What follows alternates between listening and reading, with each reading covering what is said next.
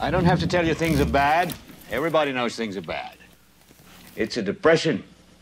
Everybody's out of work or scared of losing their job. The dollar buys a nickel's worth. Banks are going bust. Shopkeepers keep a gun under the counter.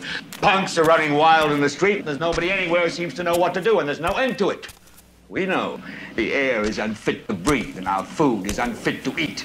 We sit watching our TVs while some local newscaster tells us that today we had 15 homicides and 63 violent crimes, as if that's the way it's supposed to be. We know things are bad, worse than bad. They're crazy. It's like everything everywhere is going crazy, so we don't go out anymore. We sit in the house, and slowly the world we're living in is getting smaller, and all we say is, please, at least leave us alone in our living rooms. Let me have my toaster and my TV and my radios, and I won't say anything. Just leave us alone. Well, I'm not going to leave you alone. I want you to get mad. I don't want you to protest. I don't want you to riot. I don't want you to write to your congressman because I wouldn't know what to tell you to write. I don't know what to do about the depression and the inflation and the crime in the street. All I know is that first, you've got to get mad. You've got to say, I'm a human being. God damn it. My life has value. I want you to get up now. I want all of you to get up out of your chairs.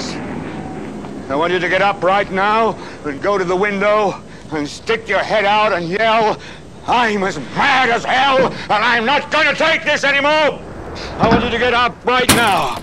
Get up, go to your windows, open them, and stick your head out and yell, I'm as mad as hell, and I'm not going to take this anymore. Things have got to change. Then we'll figure out what to do about the depression and the inflation and the oil crisis. But first, get up out of your chairs, open the window, stick your head out and yell, and say, I'm as mad as hell, and I'm not going to take this anymore. Stick your head out of the window, open it, stick your head out, and keep yelling and yell, I'm as mad as hell, I'm not going to take this anymore.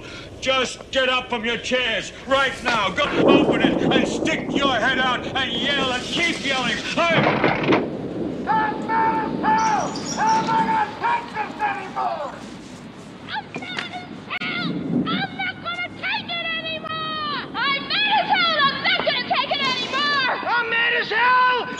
gonna take it anymore! I'm not gonna take it anymore!